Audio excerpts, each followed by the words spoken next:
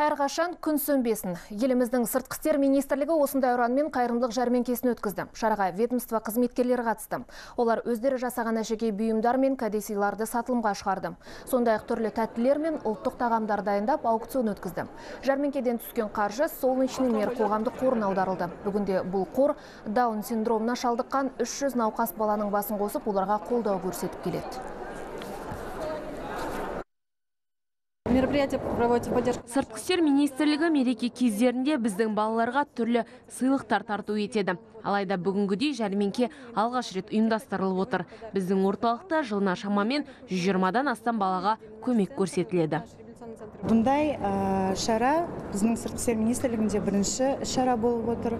Бізге өте де қызықты бүкіл департаменттер бір бірімен атсалысып отыр. Бұндай іс шара болашақта тек қана сыртқы істер министрлігінде ғана емес басқа да министрліктерде де өтеді деп үміттенеміз.